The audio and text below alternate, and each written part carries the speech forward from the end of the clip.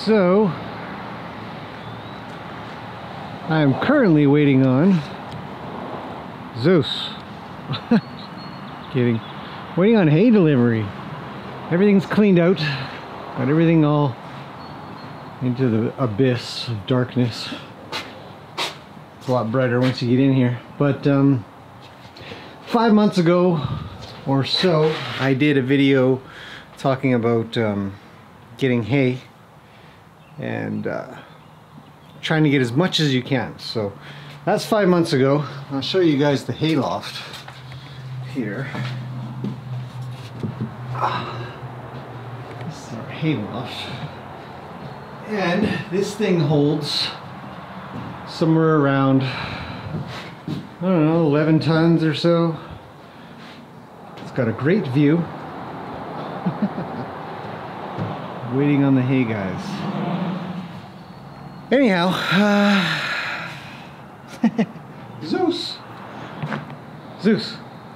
Oh, he's like, there you are. What are you doing, man? Where's the mouse? Go get the mouse. Duff. Gotta clean those tarps. Right there. Uh, anyways, see, when you get hay, you know, you really want to get as much as you can. I just had a recent conversation with another girl about, uh, you know, hay for your horses and whether it affects them adversely if you change out all the time. Because a lot of people can't get much more than, say, a month worth or even a few weeks or something like that. So we're kind of lucky that way. Have this space here.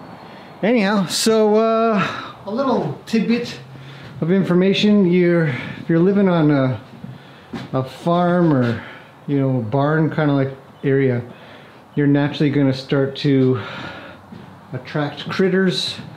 And the thing that I kind of look for when I don't know if this is going to show because I don't have enough light, but uh, I'm always looking along the edges to see if there's any sort of this is an old one here. It's like a year old or something like that but you see how this is all sort of chewed out? You know they made a nest in there a while ago kind of idea. That to be at least jeez I don't even remember probably a year and a half found that and I was like what and there was five little babies in there so anyhow so check out your uh, your haylofts and stuff. You just never know when you might find some little spot, you know, when you get it all clean, all cleaned out and stuff. Okay, heading back down. Huh. All right, let's go do a quick horsey check. I've already kind of glanced around, didn't see any problems, I guess you could say. Nothing, nobody's out of food or water. It's early morning, something like 8 o'clock or so relatively early. The skies are gray, a little cloudy, kind of more brighter over that way, but I don't know what the forecast is supposed to be. Our little uh, bird is back. Girls up there are doing great. In case you're wondering, we'll be back. Springer's as usual, pretty tidy in a way. Um, whoop, What's going on, Zeus? You coming along for a horsey check as well? This guy's doing fine. He's got this uh, salt block here and uh, that thing in the, the yellow container. What's up, Sky? And every single day he turns it over and dumps out his salt block and we go in and fix it back up for him. Not all the time, but most of the time. And then he just flips it back over again kicks it around or something. I've never caught him doing it, but I, one day I will. Okay, where's this bird? I can't believe, look at this. Whew. I love this. I can't wait till this is actually being used. Today, I hope to get some stuff done, but man, I'm a little sore. Where is this guy? Heard, there he is. There he is. Let's see how close we can get with this camera. This little dude, he's always here now. We'll walk up slow. Oh, he's gone. Ah, see, and he lives up here somewhere. There he goes. Oh, I'll see him because I can't even see him. There.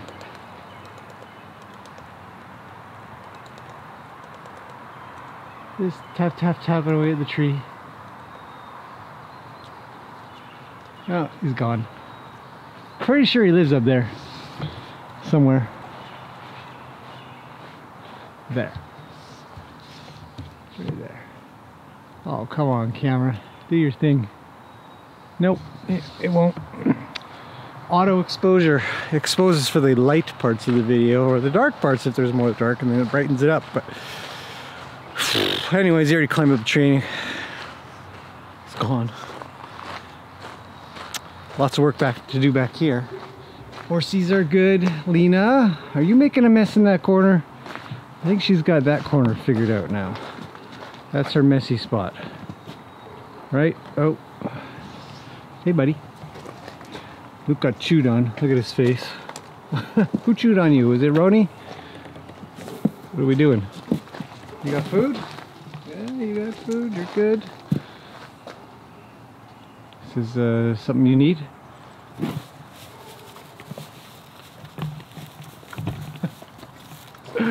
oh boy. Um, that's about it, I think. I don't think I have too much more. Lots of things to do. Still waiting on hay. I'll get the hay guys here and then I actually got to clean up and rake up um, some uh, some of the driveway from yesterday. I'm making a big mess of things. Hi, Lena. What's happening? How's your new paddock? Do you like your buddy? Yes? Is that a yes? What are you doing? What? You're very close to the camera. It can't focus on you. I need a macro lens for that business. Huh? Yeah. I don't really want to scratch you. I mean, I sort of don't, sort of do, but not right now.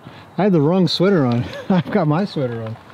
So, I'll be back. Okay, lots going on. I will update you guys as I go, as usual. If you're interested in finding out what goes on places like this, where you're always just sort of working on something, building something, making something better, fixing something. A lot of fixings of stuff and things. My dog. it just goes wherever I go. It's nice. This tree here, we were talking about this in the live stream, I think. Uh, the, the, the fireside one. Thanks everybody who came to the fireside chat. That was cool. It's nice. We'll probably try to do that every Saturday if we can. Hopefully next time it'll be outside. Okay, that's it. You guys have seen the fish. No need to show those. Moving on. See you shortly. Raked out the driveway. Working away, waiting for these guys to show up. They did. Hay has arrived.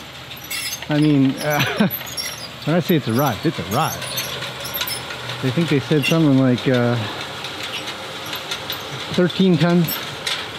So, goes across on the hay elevator into the loft where it gets stacked and it looks exactly like it looks like on a trailer. So, uh, I didn't finish my last little bit that I was going to talk about and I'll just quickly talk about paddock number eight, day four build.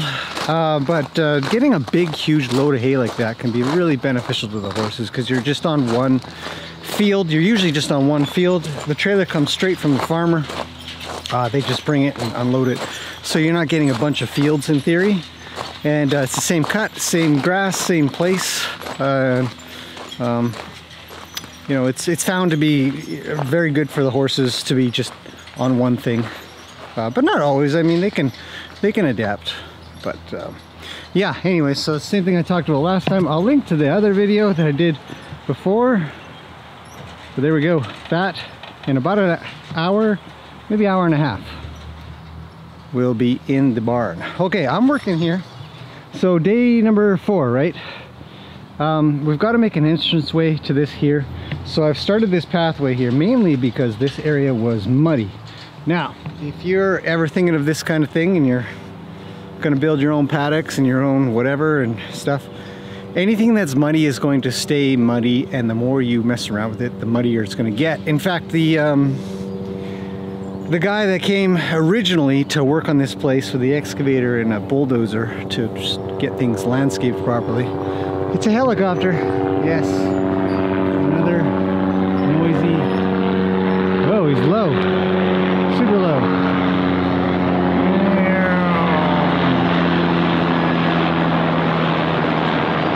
There he goes, okay. Hard to talk when that's going over your head. Anyhow, when he came and uh, it was I don't know if I have any video. I'll see if I can't find some of the video uh, that I got, mostly from a drone. But when it's wet, when it was kind of clay and dirt and trying to move around a machine, the more you move, the goopier and worse it got. Um, so this area here, as you can see, the tracks are pretty pronounced, you know. Um, muddy, it was muddy. Now it's kind of drying out. It hasn't rained a couple days now. And uh, so this will all flatten out. I mean, you just kind of walk along it a lot and pretty soon it gets squished down into flat, which is what you want. Anyway, so uh, when when we were bringing the gators through here, there's a lot of you know back and forth, which is why way over there did get muddier. Um, but this was just wet. So started the pathway here. We're going to build this pathway up into here. For now, uh, as per discussion on the uh, Fireside live chat on Saturday, um, we were having figuring out what to do with this log with this stump.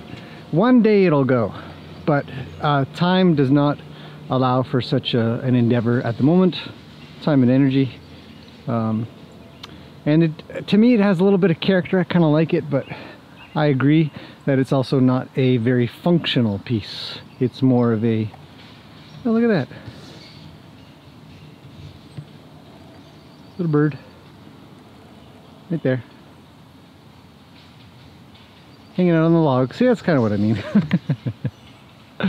uh, and we've got our little tiny owl in here, thanks to Piggy's owner. It's a lovely little thing. So uh, for now, I mean, no matter what, I think there would be a little pathway that would go up to here because what we're going to do, or in theory, if all works out as, pl as planned, uh, this will get cleared out in here. I'm going to get the chainsaw, cut this thing away here. Um, and, uh, and the gate will go across here. This will all be fenced, that's a shelter. Um, so that's the idea. So day four here, I'm just mainly doing this cleanup in, in here. Uh, I'll probably, I'll probably try to put in some temporary fencing. I do want some horses in here to start stomping this down a little bit. Uh, Lena's great for that, big feet, slow, doesn't really run around a lot. And uh, so I want to get this edge all cleaned up cut this away get it ready and uh, if I have the energy for it because I'm feeling kind of stiff today uh, I might put in a post or two. But we'll get the temporary fencing up and uh, maybe chuck a horse in here so have them walk around on this and tamp it down. So that's that's sort of the deal. Now you know so you see it from this angle it looks it's gonna look it's gonna be all gray in here a nice little pathway and then this area here is going to get built out to hopefully be a small uh, obstacle course sort of thing. And I'll reroute this stupid line here. Oh man. And clean it up. Anyways so hay's getting done. It's awesome. Just fill the thing up. We're down to our last six bales or so.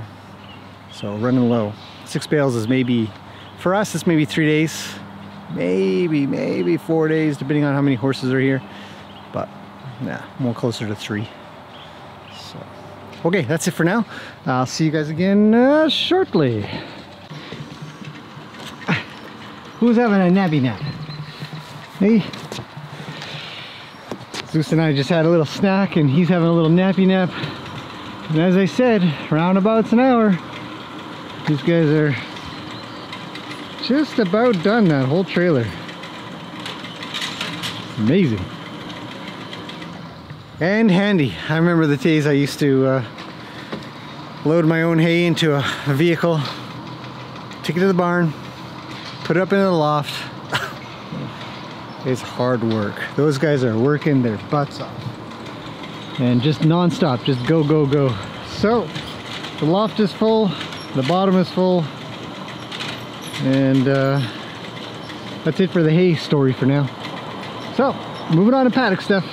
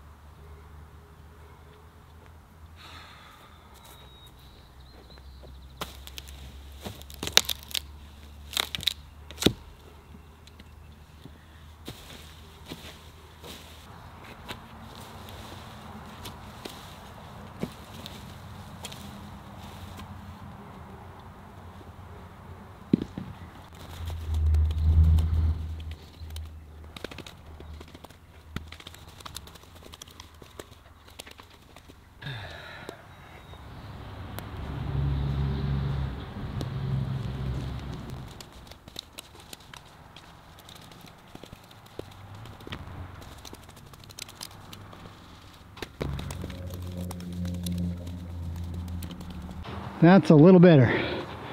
Now this area here is clear and uh, it's good to have your fence line clear of shrubbery and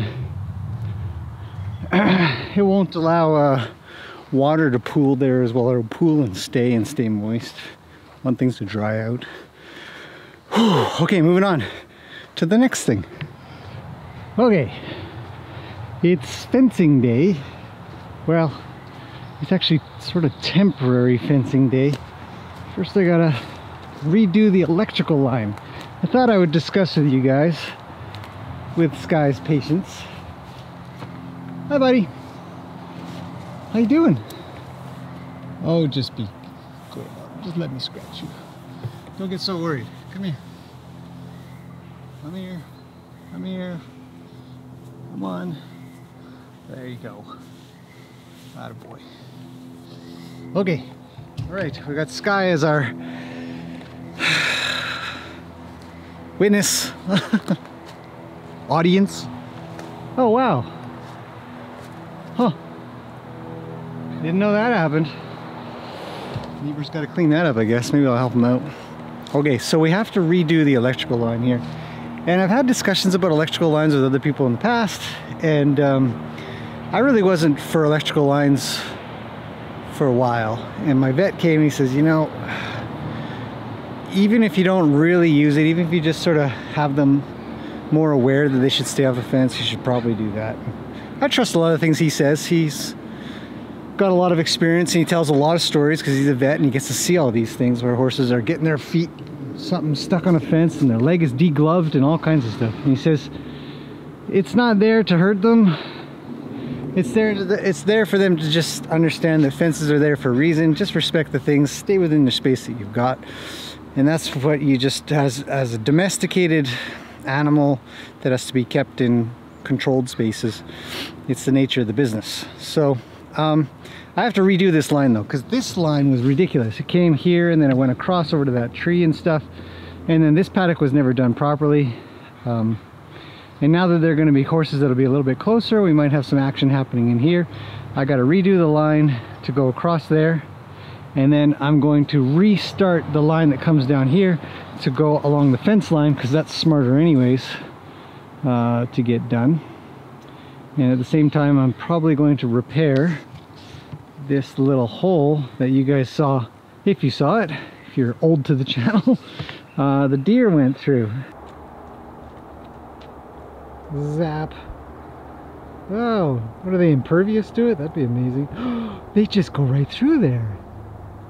There's a little hole in the fence there, sort of. Now deer can jump, so I'm not really worried. They can go find some other spot to jump over and stuff like that. Um, okay, so let's get on with this. Right, Sky? What's up, buddy? You're adorable. Nice colorings. Really like that white blaze. Looking sharp. Okay, moving on.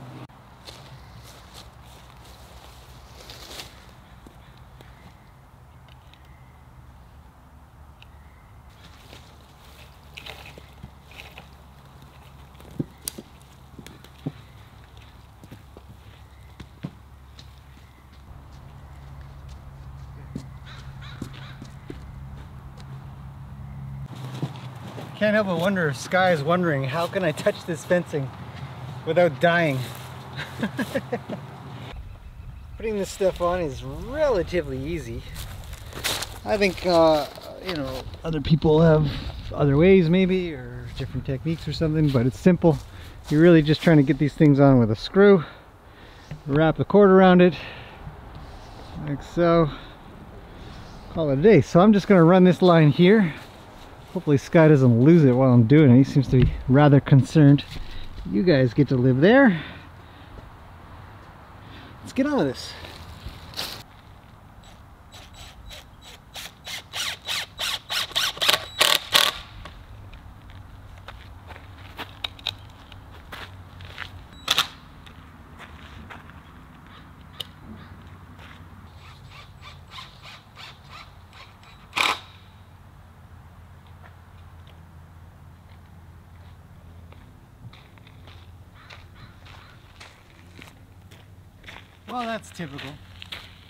Short one connector. Yeah. Every time. Just one.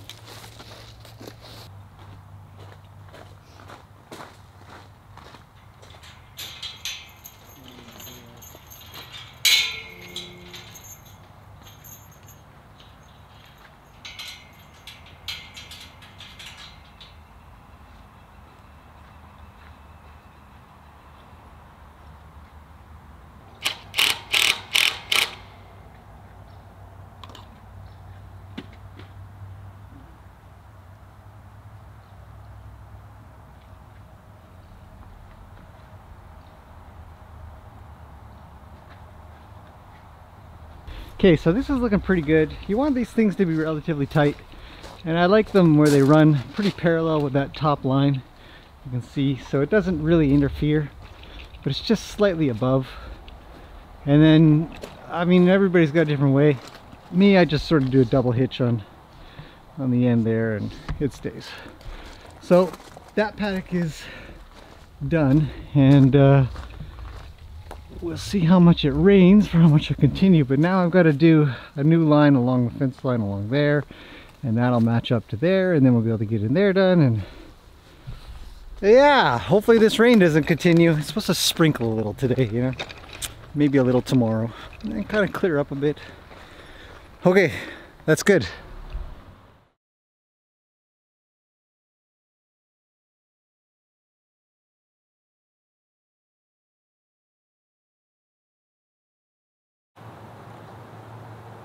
that. See if he does it again.